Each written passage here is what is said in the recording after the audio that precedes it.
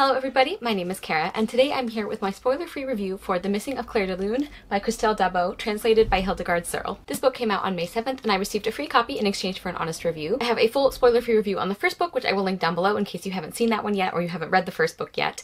I am going to try to keep this review as spoiler-free as possible for the first book as well, so I'm going to try not to give away any big things that happen in the first book. So to start off with, something I really, really loved about this book is that there's a recap for the first book at the beginning of this one, which I really appreciated because I read that first book about a year ago, and I did remember like most of what happens. I usually have a pretty good memory for books in series, but it was really nice to have that reminder of what was going to be important for this book specifically. There were definitely a couple of things that were emphasized in that summary that I was glad to have that reminder for, and I wish that more series had um, had that feature, like a little recap at the beginning of each new book. Because if you just read the first one, it's easy to skip, but if it's been a while, then that's really nice to go into this one knowing everything that you're supposed to know. As far as the plot goes for this novel, I really, really enjoyed it. I really liked the mystery aspect of it and how we got things revealed about what was going on in this world and why certain characters were disappearing, why things were happening, um, how this relates to kind of the political factions that we started learning about in the first book. And that whole mystery plot takes off pretty quickly, which I also enjoyed. Pacing is not generally something I pay attention to a lot in books, but I feel like this one was well paced because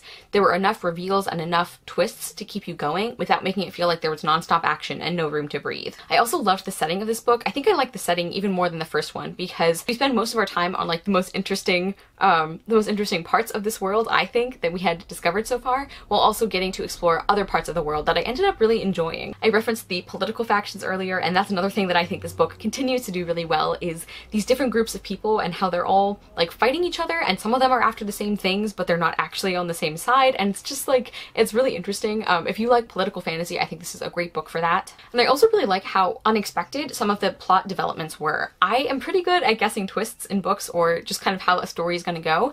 And there were a couple of things that I didn't really see coming or I didn't really think of as a strong possibility or a possibility at all. And I really liked that. I liked being surprised. The one thing I didn't enjoy quite as much about the plot of this one um, is like I'm not a huge fan of the overarching story of this series, like kind of the hints that we're starting to get about about Farouk and the other spirits and where they came from and who's in charge of them.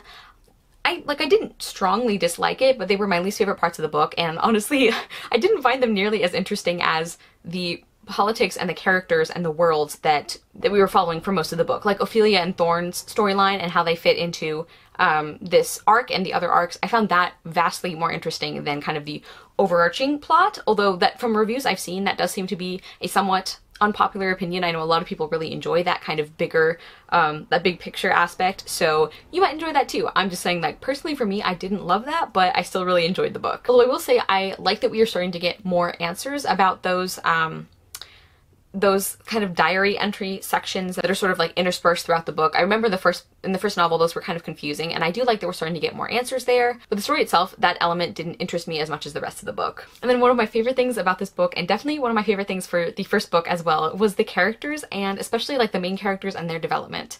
Ophelia and Thorn, I love them so much and it's especially noteworthy for Thorn because when he was first introduced in that first book, I hated him.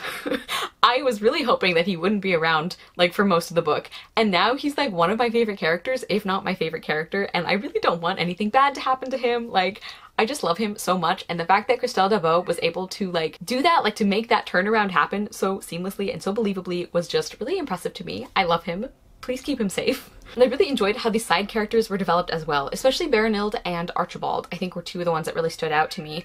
I just liked seeing how there was more to them than meets the eye, and Berenilde especially, like, I had kind of mixed feelings about her in the first book because she did a lot of things that were not good, you know, that you weren't supposed to like or sympathize with, but I really liked learning more about her past and who she is and why she makes the choices she does. Like, I don't think I completely forgive her, but I understand her a lot better and I like her and I want her to be happy. One of the only characters I wasn't so sold on was Farouk, the spirit of this pole that we are currently at.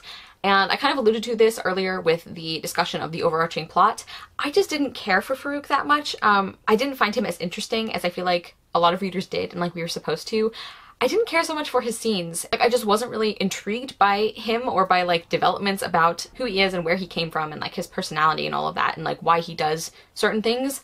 Um, I didn't really enjoy that as much. He was one of my like least favorite characters, not because he was especially bad, but just because compared to how much I loved the other ones, he just didn't grab my attention for some reason. And then going back to characters and like character development, I love Ophelia so much and I'm so proud of her in this book and I just love the fact that like the majority of this book could basically be from Ophelia's perspective at least could basically be summed up as her getting so fed up with people treating her like a child and like she doesn't know anything and she's like everyone stop it and I just love that like I just am so excited to see how her character continues to grow and I love that we're seeing like we're seeing this like inner core of strength for her that we had hints of. It's not like this came out of nowhere, but she's really coming into her own and really like appreciating her own gifts and it's just like it's just great. And then speaking of Ophelia, um, her and Thorn's relationship was so good. Like the development from like enemies to allies to kind of companions, edging into romantic territory. Um, I adored that. I really, really enjoyed it, and I wasn't sure I would necessarily. In my review for the first book, I mentioned how there were some obstacles I could see coming up about their relationship, but I think those were handled really well. It felt like a really natural progression, and the fact that Ophelia is refusing to let people treat her like she's so young, I think that kind of equalized their power dynamic um, between her and Thorn because I think they're close to the same age actually, but a lot of the way that the other characters treat her, they treat Ophelia like she's a really young girl and Thorn like he's like a grown man. Um, so that felt a little weird in the first book, depending on how their relationship would go. But I think in this one that was handled really well. I just really love both Ophelia and Thorn and I'm really happy that they are starting to care about each other as well. a quick mention on the writing. As with the first book, I feel like the translation was extremely well done in that it didn't at all feel disjointed or like you necessarily would think this was a translation if you didn't know that. Like the writing was really great and Hildegarde Serle I think did a fantastic job of translating the French. Of course I can't say that definitively because I don't speak or read French, but I just, I, I really loved the writing. This whole book was so quick for me to get to. I started it at like six o'clock at night, I think, and I had finished it by like late morning the next day. So I read this book very quickly. I just had to know how everything was going to happen. And I ended up giving The Missing of Clairdelune four stars. I really enjoyed it. I think I loved it even more than the first book. I am highly anticipating the next translation in the series whenever that comes out. Please let me know in the comments if you guys have read this book yet, what you thought of it, or if you're planning to pick it up, or maybe you haven't started the series yet, but you're considering it. Basically, I want to know your thoughts on this series because I am really, really enjoying it. Thank you guys so much for watching. I will see you soon with another video, and I hope you love the next book you read. Bye!